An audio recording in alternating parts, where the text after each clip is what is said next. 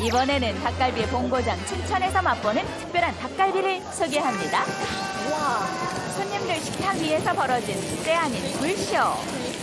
사정없는 불 마사지에 모두들 시선 집중. 흐뭇하게. 이 정말 새로운 음식입니다. 우리에게 친숙한 닭갈비는 매콤한 양념으로 버무려 철판 위에서 볶아 먹는 것이 일반적인데요.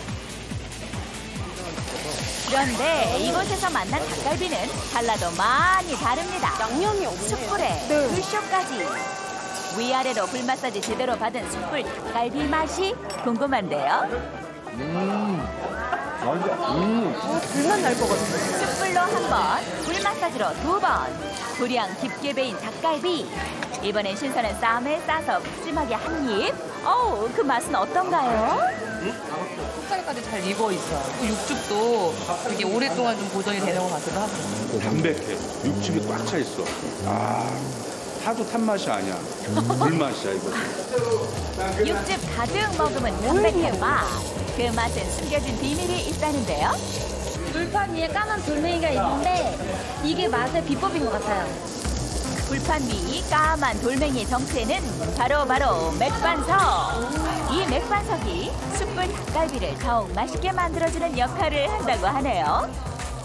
그냥 숯불에 바로 굽는 것보단 이 불이 골고루 전달돼서 그런지 연하고 육즙도 꽉 차 있고 잘 타지 않고 조금 더 부드럽게 구워주는 것 같아요. 육즙의 그 향이 입안에서 팡팡 터지는 것 같아요.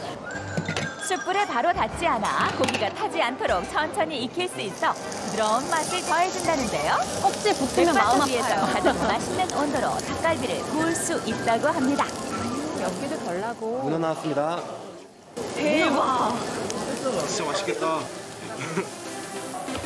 이번엔 문어가 맥반석 위를 점령할 차례. 숯불 닭갈비를 어느 정도 먹고 나면 문어 구이가 뒤따라 나오는데요. 이 맛이 또 별미랍니다. 구워 먹으면 어떤 맛일까요? 맥반석으로 구워 더욱 부드러운 맛. 맥반석 숯불 문어 구이. 문어 하나 얹어 놓고 얹어서 그 맛은 또 배우신 어떨지. 정말 기대됩니다. 문어의 쫄깃한 맛과 저기 닭고기의 담백한 맛이 어우러져서 굉장히 좋아요. 문어가 되게 촉촉하고요. 되게 입안에서 되게 춤을 추는 것 같아요. 삼속과 맥반석 그리고 불마사지까지 총 동원해 가장 맛있게 구워낸 불맛. 맥반석 숯불 문어 닭갈비